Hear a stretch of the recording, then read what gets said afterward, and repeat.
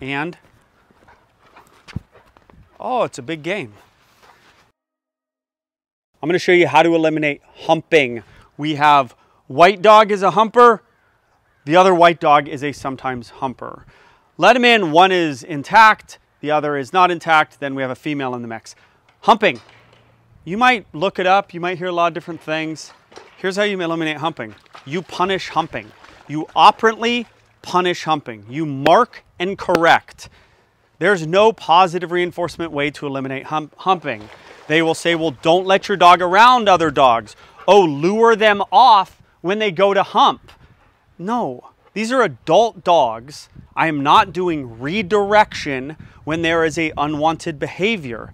There is no pain involved in my mark and punish. I'm going to, when they hump, and we got to just get them in the mix, Carly. Um, when they hump, I'm going to clap, which is a marker and a shocker. Then I'm going to grab the culprit and I'm going to sit him down. And then I or you are going to say, go do it again. Go hump the dog. I'll just keep doing this until you see the behavior start to drop off. Then you know it's working. And also, if anything else happens during this session or during this video, then I will address it on the video. Come on, guys. No humpers in the mix. You guys don't feel like humping? Someone hump somebody. Someone hump somebody. Okay, so this guy's being too much for her. We can't have that. Okay, they're both accosting her. He has not humped. He has not been too much, being Bogey, the white one. This one is biting at the neck, so we're to let him know he can't do that. Now we're to let him go, and we're to say, go do it again. This is basically, this method is for any behavior we do not like. I grabbed him, I touched him like I'm palming a basketball under the neck, and I held him there for a while because I think he was super obnoxious to her. If you want to become a dog trainer and help people with aggressive dogs, think about the Beckman coaching program. I'll leave the link in the description. If you have aggressive dogs, whether it's aggressive towards people, towards other dogs, or dogs within your own home, I have the Beckman aggression program. I'll also leave the link in the description. They're both monthly. I do lives for both of them. You get tons of videos on how to become a dog trainer or help, how to help your aggressive dog. They are, in my opinion, the two best programs out there for those two particular things. Links in the description. You have three dogs at home. It's time to act right because you are now in the mix. You are the boss. Maybe you don't accept rough play. You don't accept humping. You don't accept uh, chasing. It doesn't matter. You just figure out what you don't like and then you market the incorrect behavior and you correct the incorrect behavior. It's not rocket science.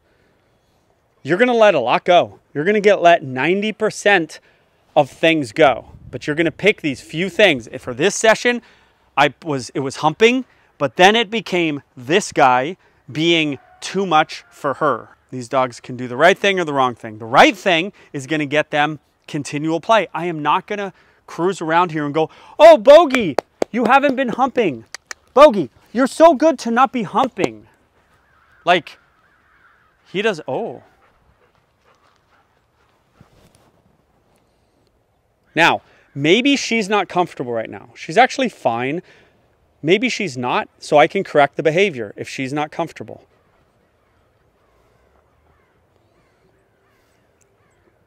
He's into her. You're a good girl. You're a good girl. Okay, she snapped at him. She's not comfortable.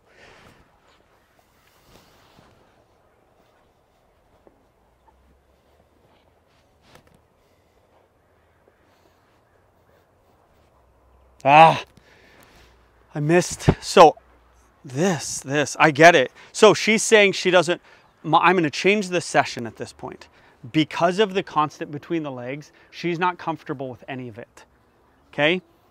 She's, do I think, leave it.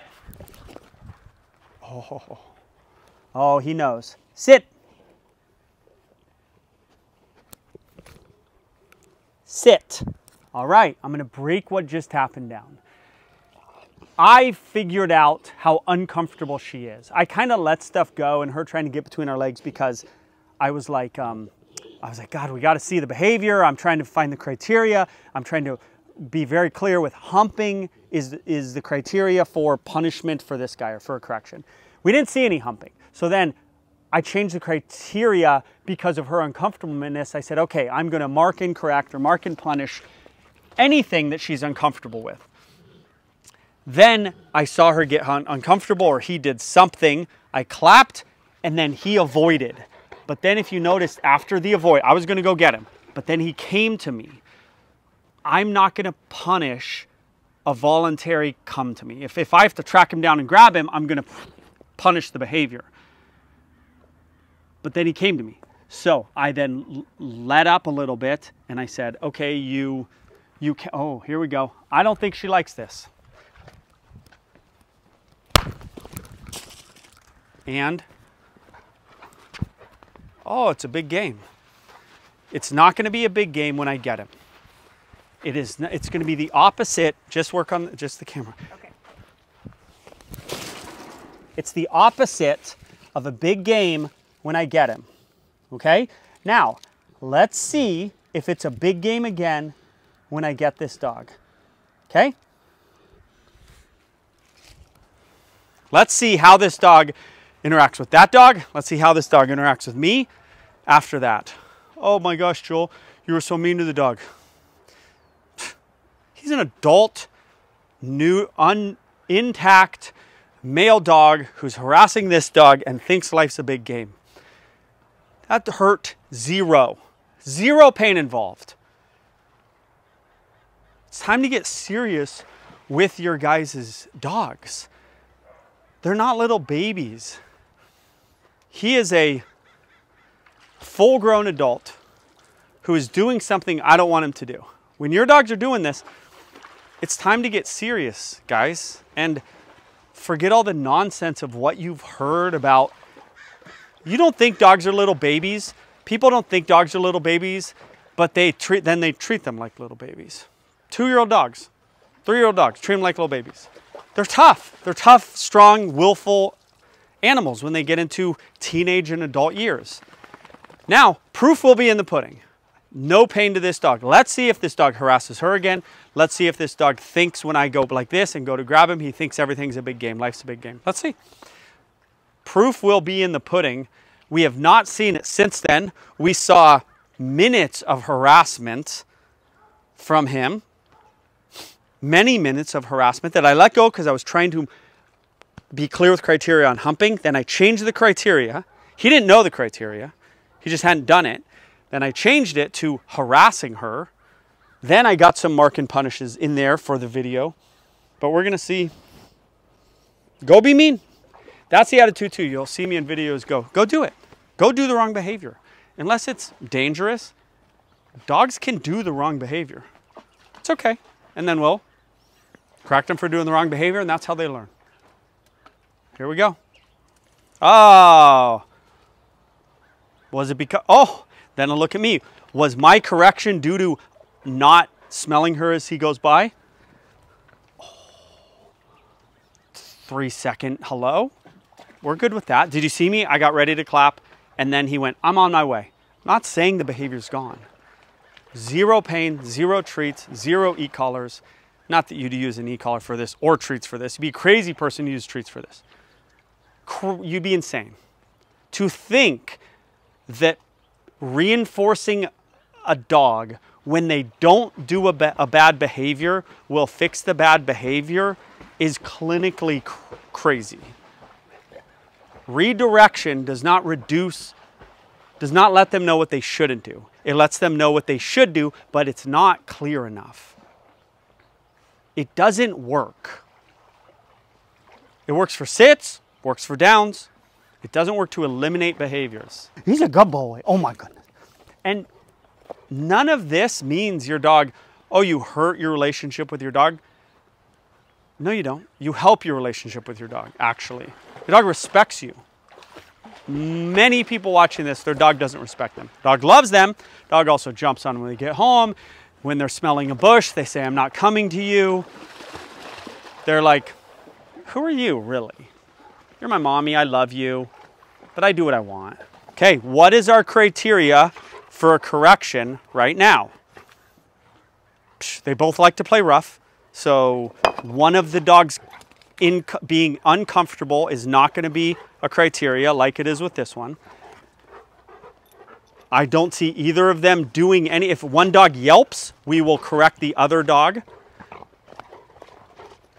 So basically, let rough dogs be rough. Let friends be friends. I see energy being released. If I think a fight could start, or you think a fight could start, you again use mark and correct.